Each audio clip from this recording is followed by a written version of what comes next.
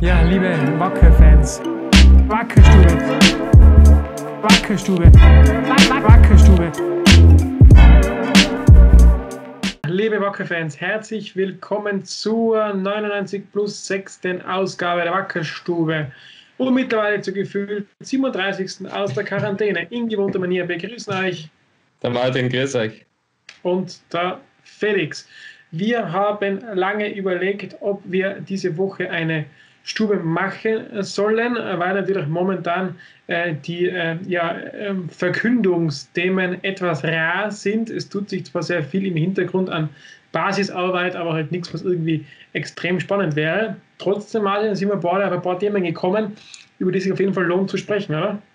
Ich glaube, wir haben noch ein bisschen was gefunden, das wir, das wir mit, mitteilen können. Und du, wir haben so tief gekramt im Fundus na, wir haben zwei Fragen mit dabei, die sind uns tatsächlich gestellt worden nach der letzten Wackerstube direkt in den Kommentaren auf YouTube. Also eine wunderbare Möglichkeit, uns Fragen zu stellen oder, um, oder Themen vorzugeben. Ähm, da ging es eben einmal um die Akademie Tirol, wie wir da zusammenhängen mit der, wie das funktioniert. Äh, einmal war die Frage, ob unser Förder und Partner nicht das Stadion kaufen könnte, also das Tivoli-Stadion. Und dann haben wir noch zwei, drei andere Themen mit dabei, die in der letzten Woche so rund um unseren Verein ähm, geschehen sind.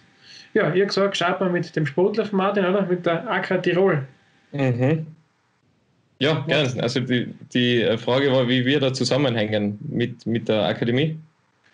Die Frage kann ich da sogar vorlesen, wenn du es haben willst, im, im Wortlaut, wenn dir das weiterhilft. Aber grundlegend war die Frage eben, es gibt ja die Akademie Tirol, das ist ja in Tirol wirklich die Top-Ausbildungsstätte für junge Fußballer, die irgendwo zwischen U15 und U18 im Alter her sind. Ähm, und wie wir da zusammenhängen. In letzter Zeit habt nämlich gerade die WSG immer wieder Spieler ähm, abgewoben von dort und wie das funktioniert. Ich lese jetzt vor, jetzt habe ich es da. Könnt ihr in der nächsten Folge mal auf die AK Tirol eingehen? In welchem Zusammenhang steht die AK Tirol mit dem FC Wacker Innsbruck? In letzter Zeit hat sich ja die WSG einige junge Talente unter den Nagel gerissen. Jetzt in der Zwangspause hat man ja auch Zeit für solche Thematiken.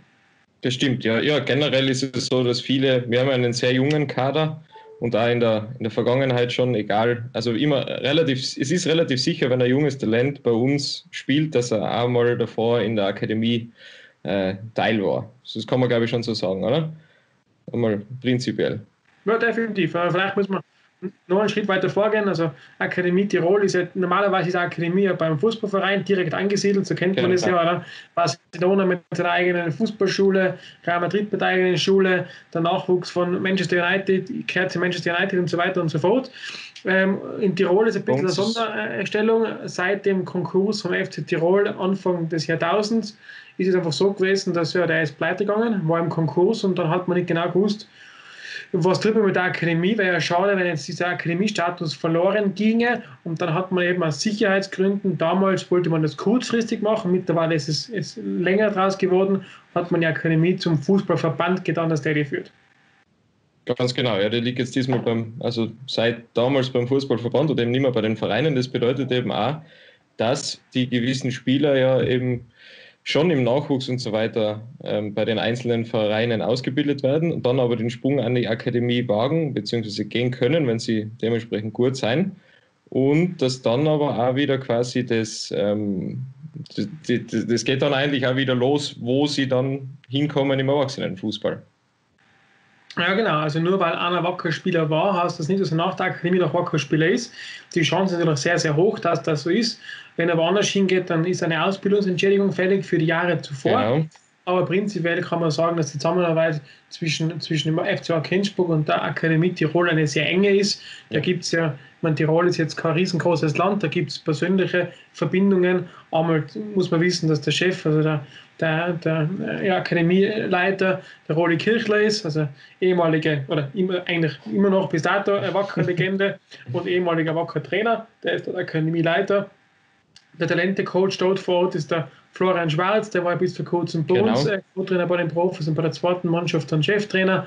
Das heißt, da gibt es sehr viele enge Verbindungen. Also man ist ständig im Austausch. Es ist nicht auch jeder bemüht, die besten Spieler irgendwo ja, von seinem eigenen Konzept zu überzeugen. Aber ob das gelingt oder nicht, ist natürlich eine andere Frage. Es gibt Spieler wie René Hellermann, der ist von der Akademie direkt nach Salzburg gewechselt, genau. Tiroler. Es gibt andere Spieler, die sind überhaupt schon ganz früh ins Ausland gewechselt, in die deutsche genau, Bundesliga zum Beispiel.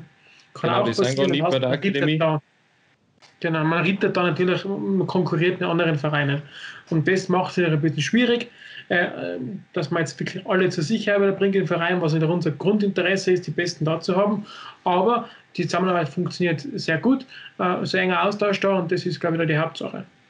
Richtig, ja, na eben. Es gibt ja, wir haben ja die Insel, von der wir kommen, also Osttirol, die, da ist es ja äußerst selten, dass Spieler aus Osttirol in der Akademie in Nordtirol spielen, sondern die sind dann, die fallen eigentlich auch komplett durch den Rost und gehen meistens dann Richtung Kärnten, sagen wir mal so.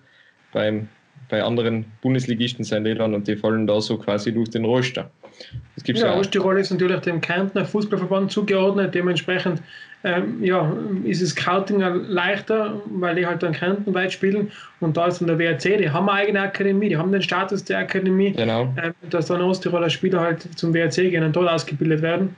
Gibt es ja einige, der Herr Ranacher, der uns ja aus dem Cup geschossen hat durch seinen Foul-Elfmeter, der genau, rausgeholt hat. Ja.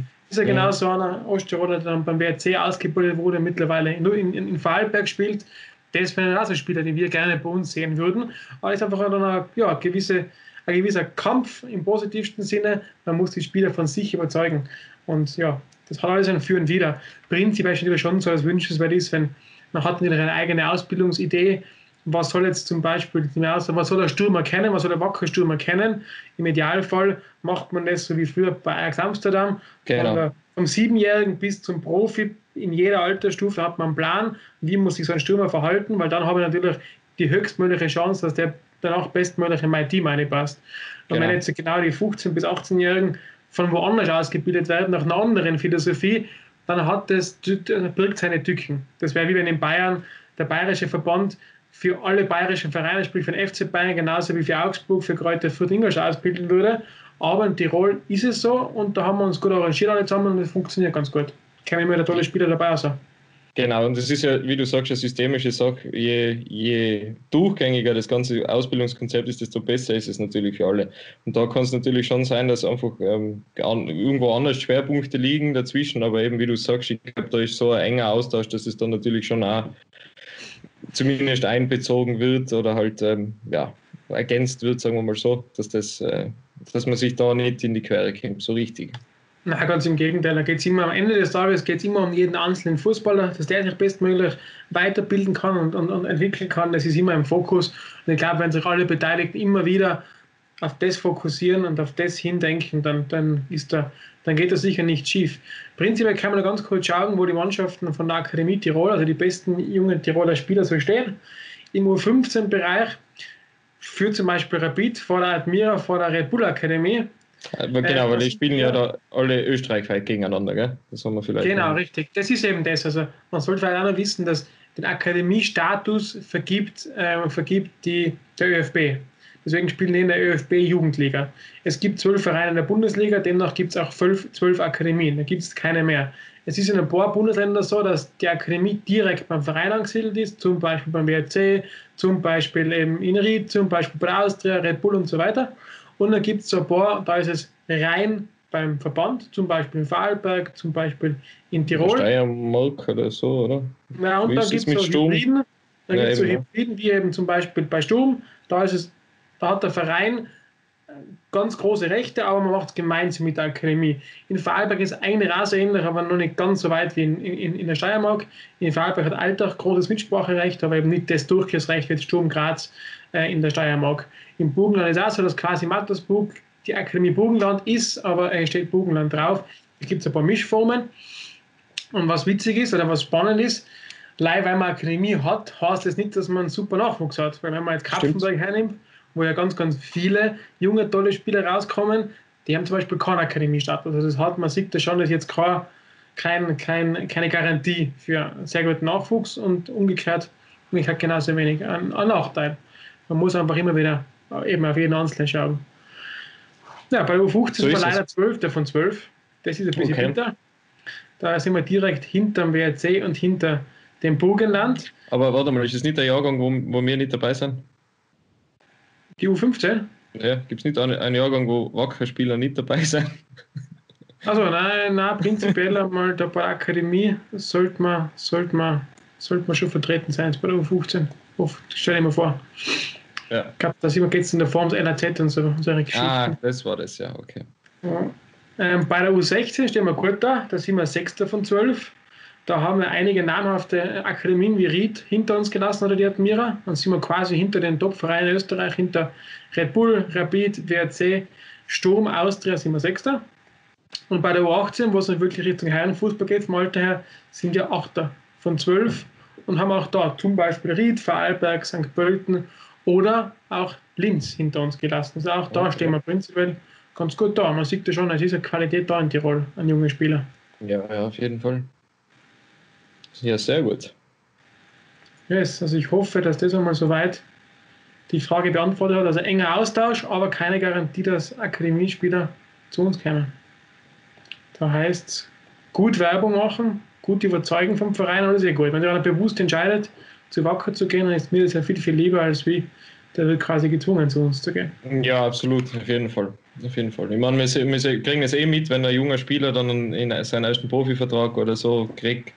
Ähm, das ist schon immer ganz spannend. Das ist immer eine lässige, lässige Sache, wenn du dabei sein darfst. Ja, du redest von Felix Mandl, oder? Da war das ja genau, genau. so.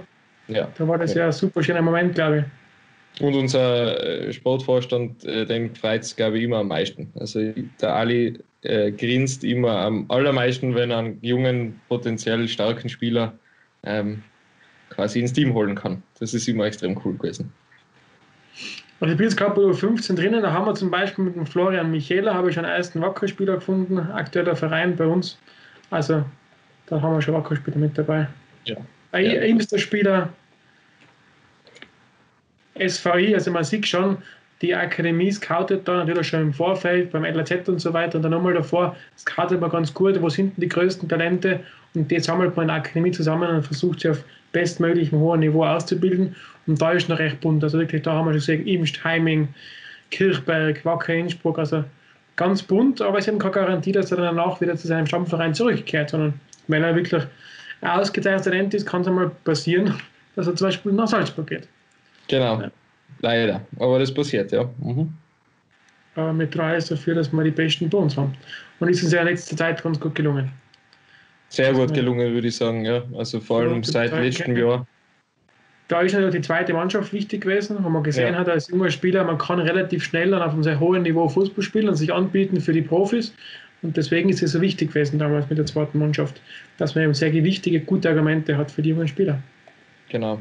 Absolut. Es war, es war ein super Modell und das ist ja auch was, was sicherlich wieder angestrebt wird, wenn wieder mal Fußball gespielt werden darf, genau. soll und kann. Genau. Paul Stenico, FC Natas, schon? Einmal quer durch, durch ganz Tirol. Sag, äh, lieber Jochen Müller, ich hoffe, deine Frage ist soweit beantwortet. Jetzt mehr ins Detail gehen, äh, ja, können wir gerade nicht, weil da sehr viel gerade ruht und weil viele Gespräche gerade mit Spielern stattfinden.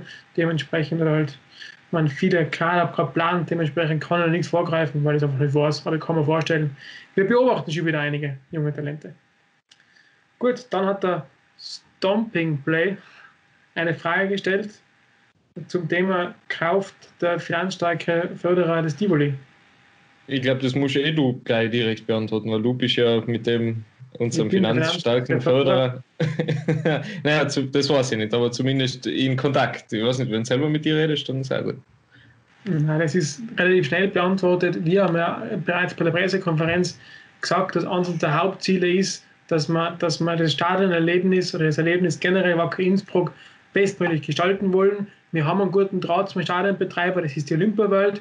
Da können wir mittlerweile verstärkt Ideen einbringen ähm, dass man jetzt irgendein Stadion kauft.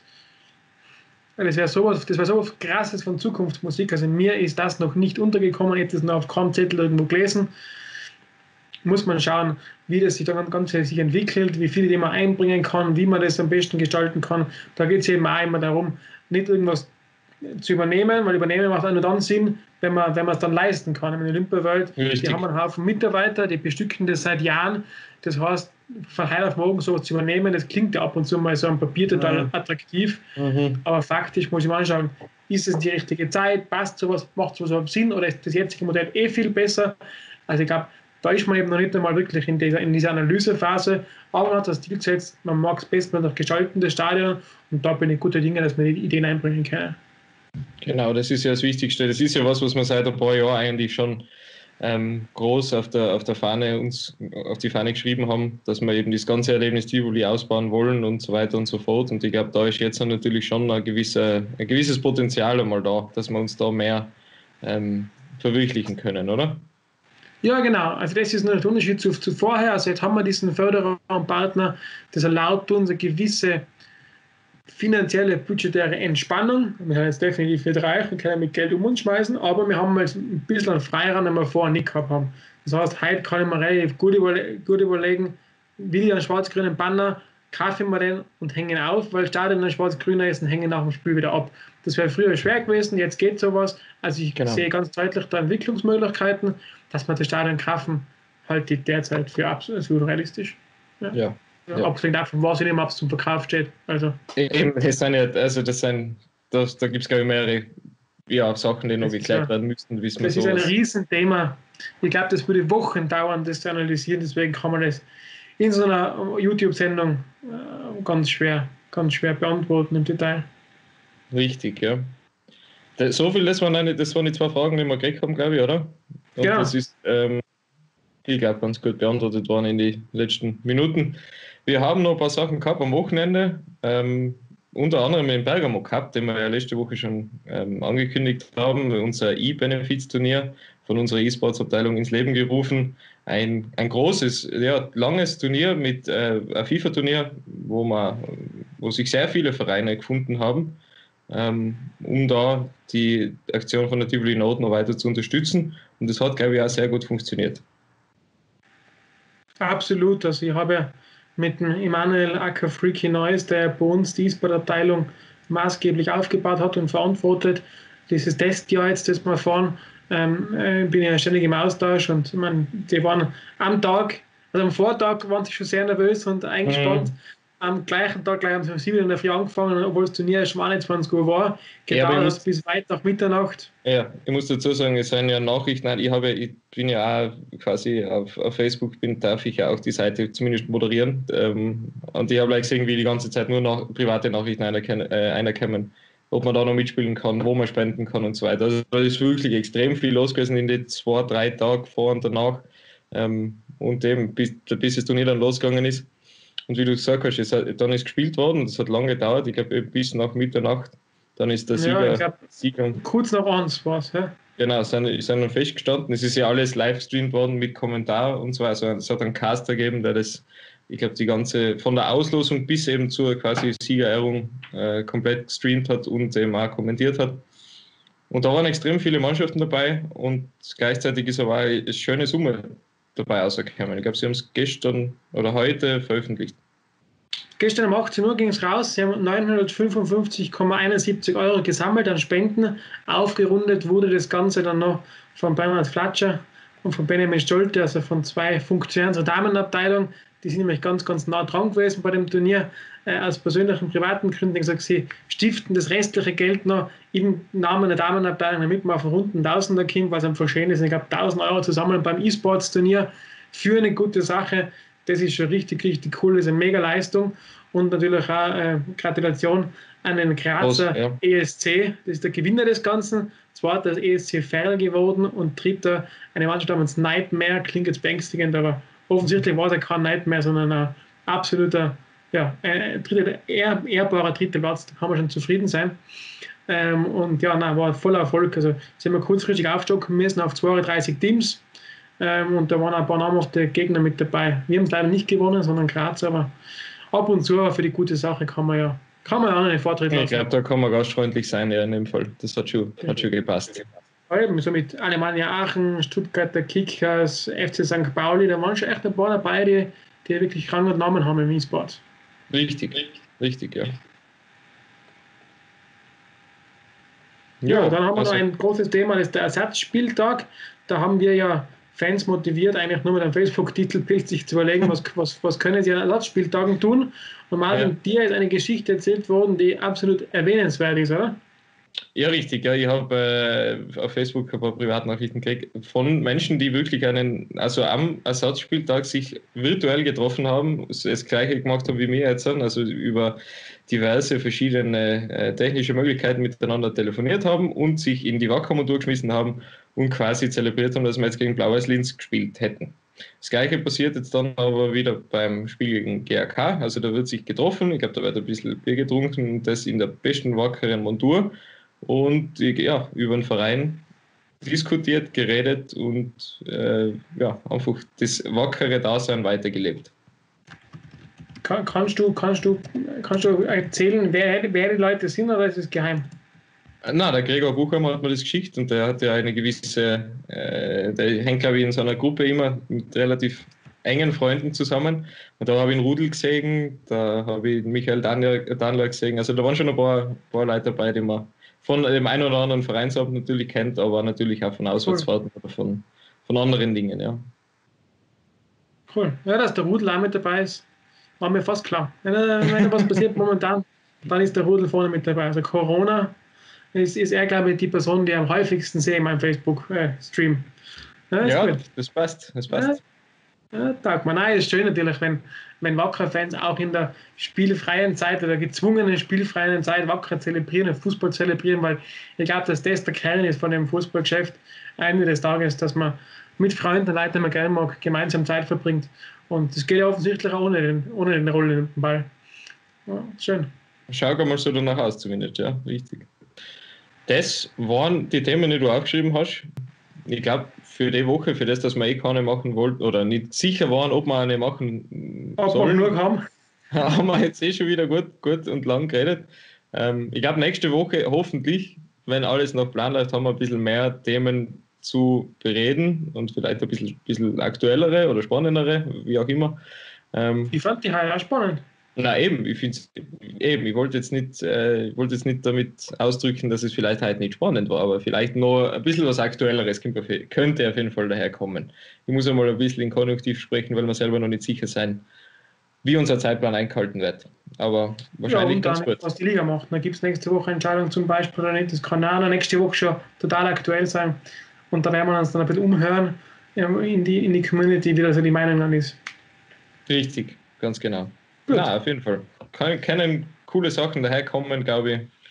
Und nächste Woche sehen wir dann mehr. Weil irgendwann feiern wir dann die 100er, wenn wir wieder nebeneinander sitzen, denke ich. Genau, wenn wir wieder Lust zum Feiern haben. Mal schauen, wie viel 99 plus wir bis dahin ja, hinkriegen. Ja, ja. ja gut, haben wir spannende Themen hinter uns, vom Stadionkauf bis hin zur Akademie Tirol, bis zum Bergamo E-Benefits-Turnier, bis zum Bergamo Cup Club. War sehr spannend dafür, dass wir keine Themen geglaubt haben zu haben. In diesem Sinne, verbringt eine schöne Woche, bitte zelebriert einen Ersatzspieltag, tut euch zusammen, macht euch ein Bier auf oder ein Cola auf und verbringt Zeit gemeinsam. Das ist ganz, ganz wichtig, gerade in Zeiten wie diesen. Bleibt uns treu und gute Nacht.